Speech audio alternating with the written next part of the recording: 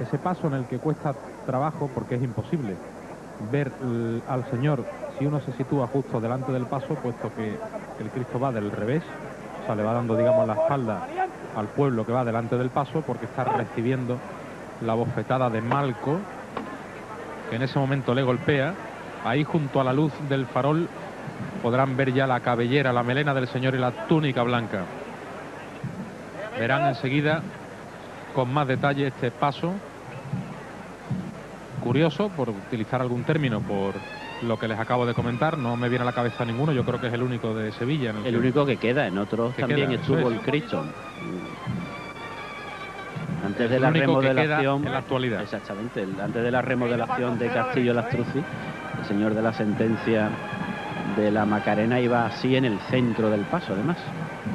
Como va este, más o menos. Pues aquí escuchan ahora los sones de la banda de las cigarreras, de cornetas y tambores, y ese momento en el que Cristo es abofeteado, golpeado en presencia de Anás. Ya se ve desde aquí la mano en alto, ese brazo blanco se ve desde aquí, la mano ya al aire. Y el Señor, hablábamos al principio de este martes santo de humildad, de aceptación, aquí también, siendo el rey de todos, se deja abofetear sus manos detrás, la postura erguida, la firmeza del que sabe quién es, de hecho él lo dijo, soy el que soy, se deja abofetear en presencia de Anás, que va cómodamente sentado, presenciando la escena. Una magnífica cofradía esta de San Lorenzo. Otro misterio de Castillo.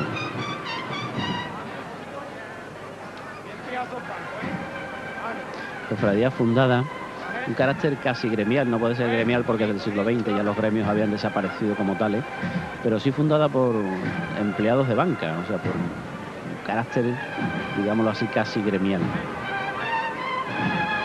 Radica en San Lorenzo y el modelo que tomó, al igual que por ejemplo San Roque tomó el modelo macareno, pues aquí se tomó clarísimamente el modelo de la amargura a la hora de configurar la cofradía y se observa en, en muchos detalles.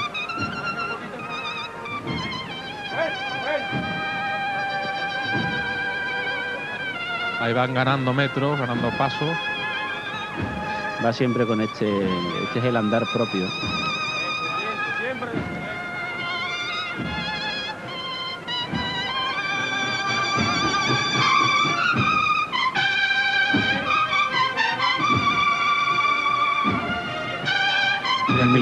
las manos cruzadas del señor a la espalda, la cuerda que sujeta el soldado romano y se ve Paco todo riqueza otra vez en las imágenes secundarias excepto en la túnica lisa del señor. del señor. Ahí tienen Anás el sumo pontífice.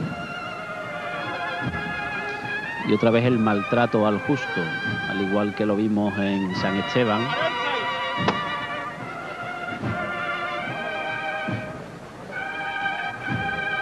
Para los ciriales golpe de golpe del martillo del capataz se comunica al pertiguero que también da un golpe en el suelo y los ciriales se enfrentan unos a otros y dejan al cirial en el suelo. Otra vez el neobarroco en el paso, si bien con líneas más rectas.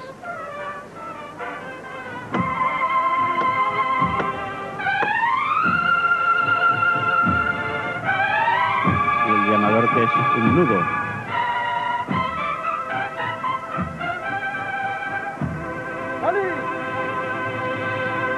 Un momentito. Yo quiero acordarme de aquí de uno que falta que estaría con su cámara y su micrófono. Hoy está en el cielo. Seguro que desde allí también está grabándolo, ¿eh? Va por Agustín Jesús. Quietos, santo y fuerte para arriba. Como estaba la gente de San Lorenzo. ¡Todo por igual valiente!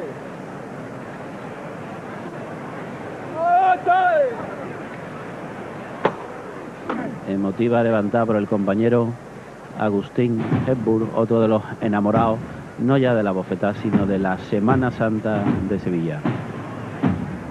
Ya el paso en alto, solo queda gozar con este andar tan personal del misterio de la bofetada.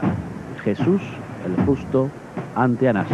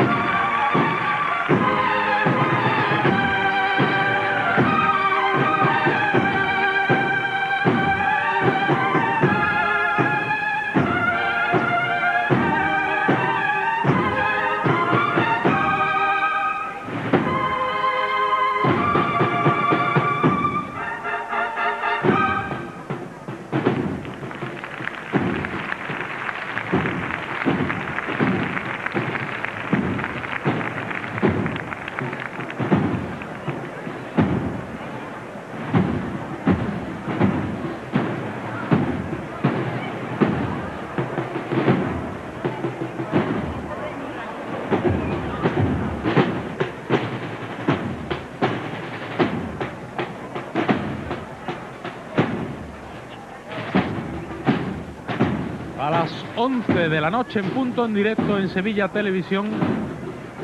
Nuestro Padre Jesús Santanás con la marcha Costalero del Soberano ha pasado por la campana, una marcha preciosa. Ha pasado por la Plaza de la Campana, está ahora arriado en la calle Sierpe. Estamos, por tanto, a la espera, a partir de ahora, de que llegue la Virgen del Dulce Nombre, una Truci, que es el autor de esta imagen de María Santísima. Por cierto, imagen de la que tenemos aquí, Paco, unas estampitas, ¿no? unas fotitos que nos ha dejado José Antonio antes de marcharse, marcharse a realizar su estación de penitencia. Imagen que tuvo que retocar Castillo porque se parecía en exceso a su modelo.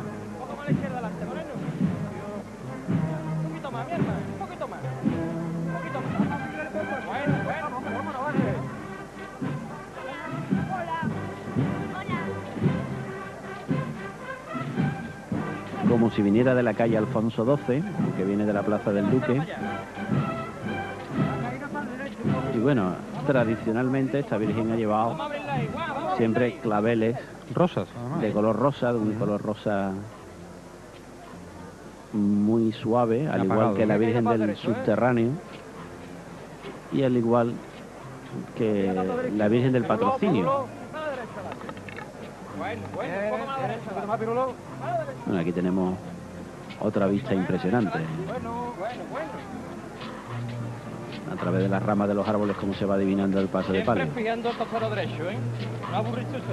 Y un tocado que realza aún más la belleza que adquiere esta Virgen bajo el palio, porque esas son las vírgenes de Castillo. Las vírgenes de Castillo tienen esa, muchas de ellas tienen esa característica, esa virtud, y es que bajo el palio ganan muchísimo con la luz de la candelería.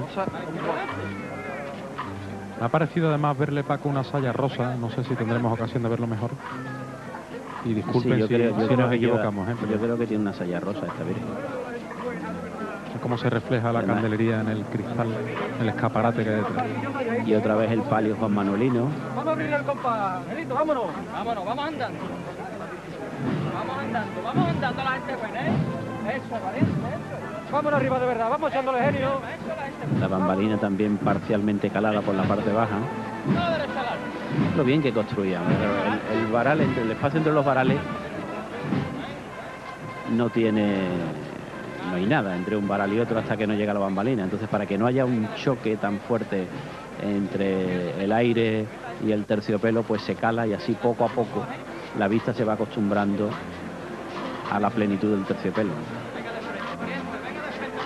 Bueno, pellizquito en el tocado en la parte de arriba, que se corresponde con las dos diagonales que se cruzan sobre el pecho. Y la candelería ya es relativamente baja, con lo tarde que entra esta cofradía. Sí, pero es que sale ya Lorenzo- prácticamente no con la cera encendida, se enciende al poco de salir, ¿no? Y sin prácticamente, habrá salido con la cera encendida, habrá salido de noche. Este año, además que ha venido la noche tan pronto, al ser una Semana Santa tan temprana y sin atraso de hora, sin adelanto de hora, perdón, pues hay muchas cofradías que han salido de noche. A mí Virgen me parece una virgen bellísima, Bellísima, Paco. bellísima. Además aparta también un poco la, la mirada de, de Juan. Y ahí a la derecha la cruz, que parece que la está viendo de reojo la Virgen, la cruz de cerrajería, la cruz de guía de la cofradía de Santa Cruz. Pues no son claveles rosas, Paco, las flores, ¿no? Por eso dije que antes que tradicionalmente lo llevaba, pero este año con las heladas, este año es que ha hecho un taco de frío. Yo no he estado tanto tiempo metido en un brasero como este año. Cierto. Bueno, manda a llamar el capataz ya ese martillo del palio de la Virgen María Santísima del Dulce Nombre. Estamos en directo en Sevilla Televisión Sonora a las once y cuarto de la noche.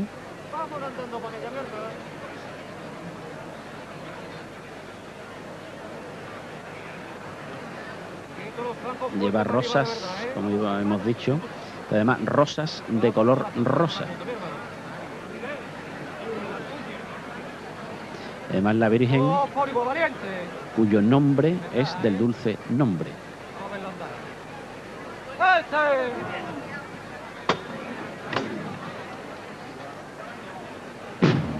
al cielo con ella y sobre los pies de sus costaleros, la Virgen del Dulce Nombre ya toma posesión del espacio compartido de la campana.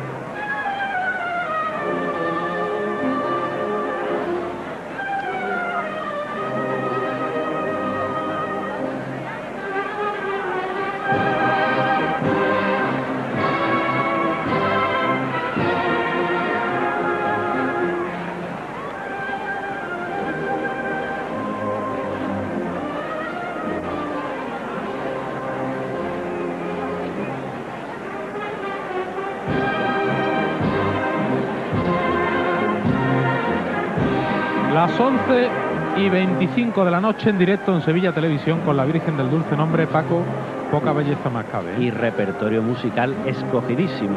Virgen de las Aguas, para homenajear a la Virgen del Museo que no pudo salir ayer. Y Dulce Nombre del Erate, la marcha más clásica que se le ha compuesto a esta cofradía. Y nos vamos un segundito para volver. Venga.